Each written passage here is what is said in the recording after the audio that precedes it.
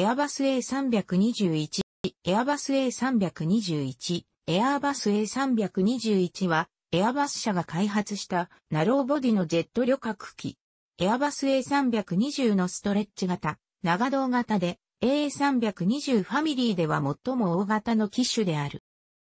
エアバス社では A320 について開発当初からファミリー化を計画していた。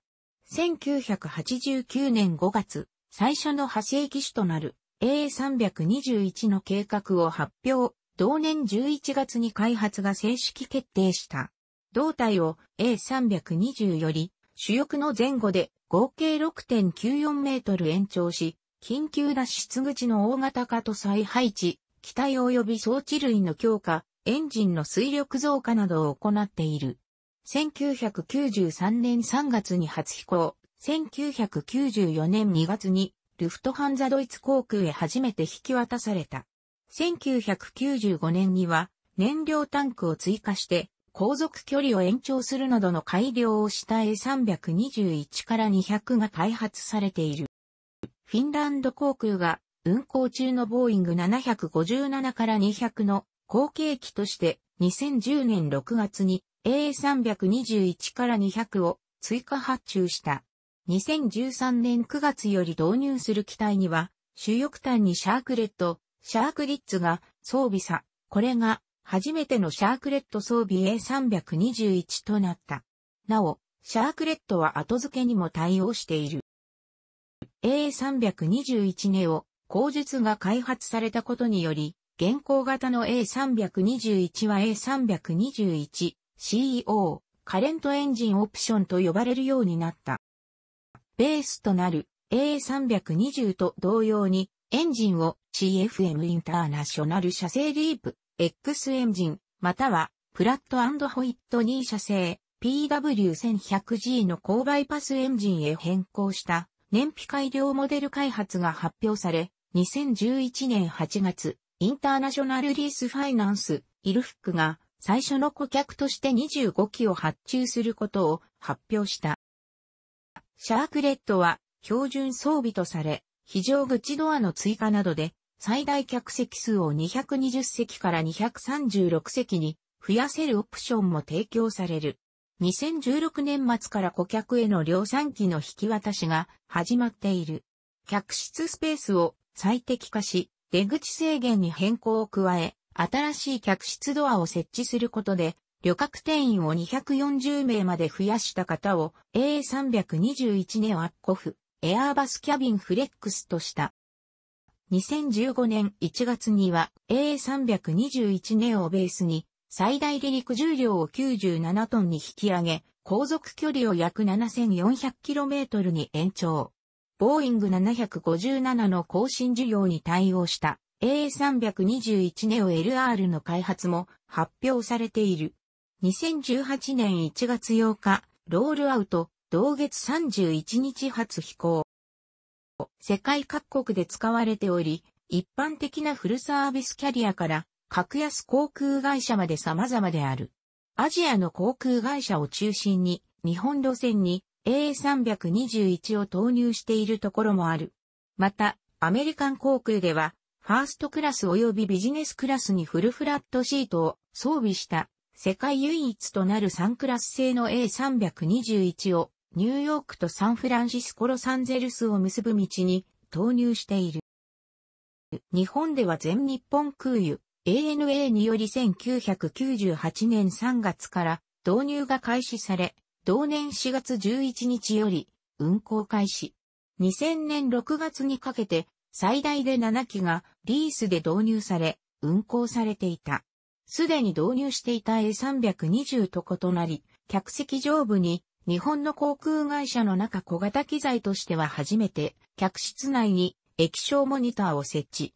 8席のスーパーシートを含む191席配置であった。最初の2機は同社の設立45周年、1997年を記念した特別塗装機、日本の風景、ANA エア日本就航地22カ所の風景写真をポジフィルム風に掲載として登場するなど、当初は国内や艦船の主力機として期待されていた。しかし、同社の方針が変更され、2000年にスーパーシートが廃止されてからは、存在が中途半端となり、普通席195席、使用 A320 とエンジンが異なり保守コストがかかること、A320 は CFM56、A321、1998年から2000年、導入 A321 から 100i や V2500 や、胴体長が長く、重心を取りづらいなど使い勝手が悪い中途半端な機材という理由で、ボーイング777から300よりも後に就航したにもかかわら、前期を早期退役させることが決定。当初は2003年度末の予定とされた。